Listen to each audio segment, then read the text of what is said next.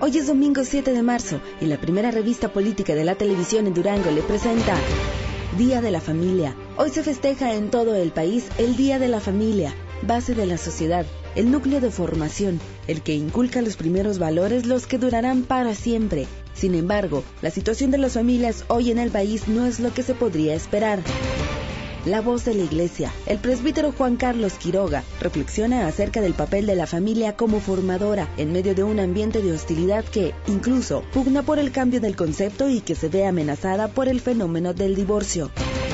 Jóvenes empresarios. En medio de la situación de crisis que padece ahora el país, hay algunos que todavía creen en el esfuerzo y en que vale la pena arriesgarse para generar bienestar. Son los jóvenes que ya despuntan en el mundo empresarial. Gonzalo, factor de división, el senador petista, en plena campaña anticipada por la alcaldía capitalina, es señalado como un esquirol que afectaría la votación de la coalición opositora. Para muchos, Gonzalo se presta al proyecto transeccional del gobierno. ¿Qué dicen los impactos mediáticos? Esto y mucho más. Quédese con nosotros. Buenos días.